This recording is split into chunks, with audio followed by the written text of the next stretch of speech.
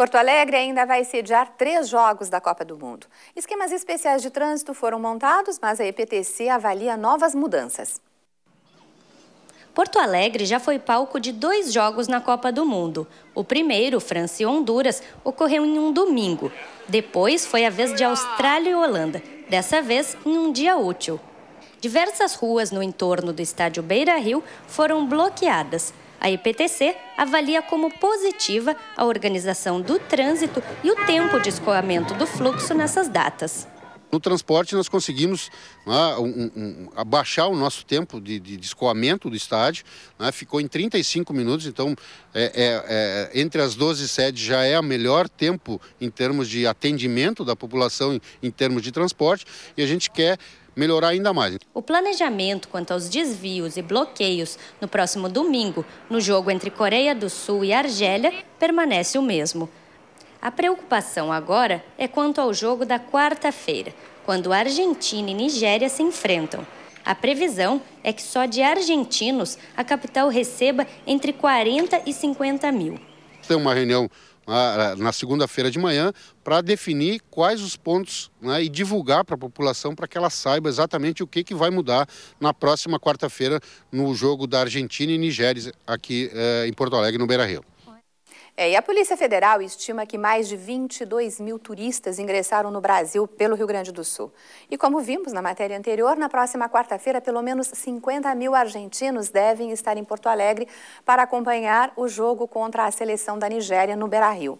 E nesta semana correram mundo as imagens do Mar Laranja que tomou conta da capital na partida entre Austrália e Holanda.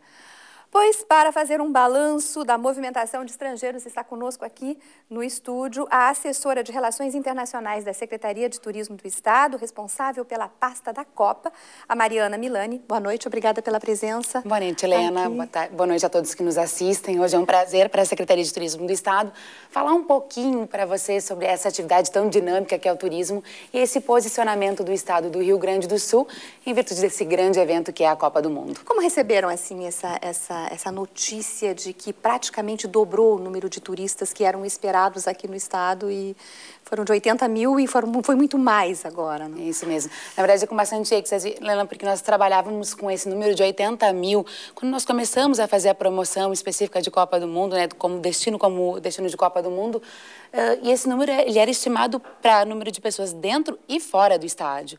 E de repente nós nos deparamos no mês de maio com a informação de que 83 mil, né, passaram de 83 mil a venda de ingressos apenas para estrangeiros dentro do estádio Beira Rio partindo da premissa de que para cada uh, pessoa dentro do estádio nós temos em média uma a duas fora do estádio, bem, esse número de fato ele dobra e isso para o destino Rio Grande do Sul, que quer se posicionar como um destino de qualidade de turismo no sul do Brasil, ele é bastante importante.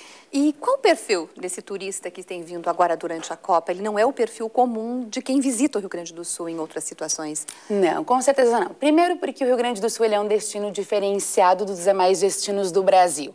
Quando o turista ele chega no Brasil, ele justamente ele procura os destinos de carnaval, sol e mar. E de repente com Copa do Mundo a gente consegue colocar que existe um destino diferenciado mais ao sul e que recebe hoje um turista que ele é bem específico de Copa do Mundo, com um público masculino bastante presente, família famílias, idades nós vemos de todas as idades, tanto pessoas mais, mais idosas, mas como os jovens também que vêm vivenciar esse grande momento de Copa no Brasil, que também é um grande diferencial, né, Helena? Claro. Mariana, mas a, eh, a gente até falou há pouco sobre o, o, Mar Laranja, né, que esteve em Porto Alegre esta semana, mas muitas pessoas da Serra e de outras regiões querem saber, assim, que incentivos foram feitos para que essas pessoas não ficassem somente em Porto Alegre e fossem para outros destinos aqui do estado? Bem, muito bem. Desde o início dessa gestão, nós vimos trabalhando, então, o, posicionamento do destino Rio Grande do Sul como destino de Copa do Mundo. E a partir disso, então, nós tivemos bastante atividades, tanto em nível nacional e internacional, de promoção do Rio Grande do Sul. Nível internacional, participando de eventos e feiras internacionais, com destaque para o evento Go to Brasil, que foi um evento específico de promoção das cidades e destinos sede da Copa do Mundo, que foram realizadas em 17 grandes capitais uh, do mundo como um todo. Mas, para além disso, nós trouxemos 66 16 jornalistas internacionais para dentro do estado. E agora mesmo, na etapa de promoção da Copa do Mundo, né, especificamente falando, a gente traz as regiões para a cidade sede, para Porto Alegre, nos espaços de centros de atenção atenção ao turista, esses que estão no aeroporto Salgado Filho, na rodoviária, no Parque Moinhos de Vento, no Barra Shopping Sul, no Praia de Belas e na Concepa, pela entrada pela 290, para fazerem a promoção das regiões do Rio Grande do é Sul. Então, como um destino exatamente uh, esse, qualificado esse que tem tudo para o turista aproveitar o tempo todo. E esse material justamente é o guia que foi feito pela Secretaria de Turismo do Estado, justamente para que o turista, ao buscar informação, ele tenha uma informação qualificada né, e pontual daquilo que ele pode encontrar para além da cidade sede Porto Alegre. O que, que tem nesses, nesses guias? Assim? Bem, aqui nós temos informações gerais, tanto com relação aos atrativos e produtos turísticos, então começando com um leque da questão da cidade sede, mas depois para os destinos do Rio Grande do Sul como um todo. Nós temos informações de mobilidade urbana, de saúde, nós temos a tabela com os jogos da Copa para o preenchimento então dos fãs, até porque isso a gente acredita que vai ser material a ser guardado para a posteridade, né, pela vivência e demais informações gerais que podem que possam beneficiar o turista enquanto aqui no Rio Grande do Sul. Mariana, só numa frase assim para encerrar, o legado que fica para o turismo assim, a, a, as perspectivas a partir de agora. Acho que a nossa, o nosso maior legado é esse posicionamento como destino de qualidade no sul do Brasil e pensar que a partir desta vinda dos turistas para cá, com a hospitalidade com a qual nós os temos recebendo, né? Esse posicionamento deles de que esse destino é diferenciado de fato, é utilizar desta grande imagem para que a gente continue nos posicionando e fazendo a promoção do destino Rio Grande do Sul para o pós-Copa, né? Para além de Copa. Muito obrigada pela, tua, pela vinda e pelas tuas informações. Obrigada, Sucesso, Helena, e aproveitem a Copa. E assista depois do intervalo.